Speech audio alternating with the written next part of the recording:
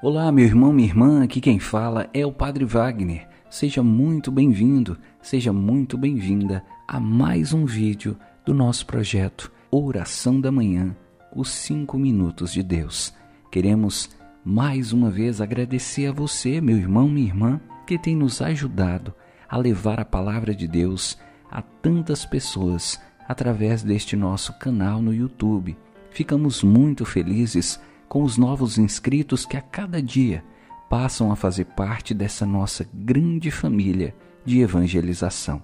Você que não está inscrito, inscreva-se e ative as notificações. E você que já está inscrito, continue nos ajudando. Convide outras pessoas a conhecer o nosso canal, compartilhando em seus grupos de WhatsApp e nas suas redes sociais este nosso trabalho de evangelização. No vídeo de hoje, vamos refletir e orar sobre as paixões que podem comandar a nossa vida.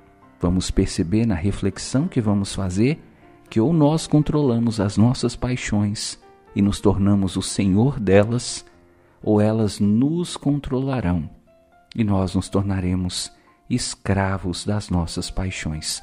Iniciemos a reflexão de hoje. Você deve ter o controle de sua vida, pois se você não manda, suas paixões mandam. Se você não as domina, se as deixa sem controle, se não limita o campo de ação ou de reação delas, suas paixões dominarão você, dominarão sua vida. Elas mandarão e você deverá obedecer e será forçado a fazer coisas que talvez nem queira fazer. Suas paixões poderão se tornar o seu dono e você poderá ser o escravo delas. Mas se dominar as suas paixões, se conseguir direcioná-las, se as reduz em seus instintos e orienta suas forças, você será o dono da sua própria vida. Você será uma pessoa de caráter, se você quer, você pode. E se não pode, sempre lhe resta o recurso de pedir a força de que necessita.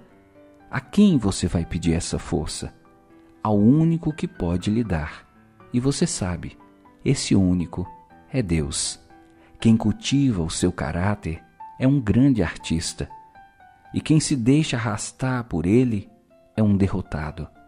E a derrota sempre tem um gosto amargo e deixa um estado de espírito deprimido. Passagem bíblica. Deus, porém, não levando em conta os tempos da ignorância, convida agora a todos os homens de todos os lugares a se arrependerem.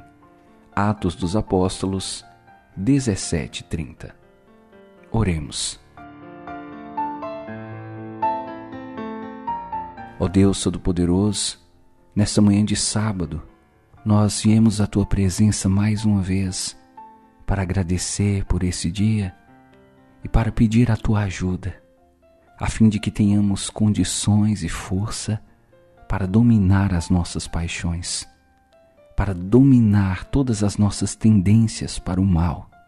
Hoje, Senhor, pedimos que envie os teus anjos para nos guardarem para nos livrarem de tudo aquilo que possa representar na nossa vida uma tentação nesse dia. Afasta-nos, Senhor, de todos os maus caminhos e ajuda-nos a viver uma vida de virtudes, uma vida que tem como base não os prazeres desse mundo, mas a palavra e a vontade de Deus em nossa vida. Que desça sobre nós que desça sobre essa manhã de sábado a bênção desse Deus Todo-Poderoso que é Pai, Filho e Espírito Santo. Amém.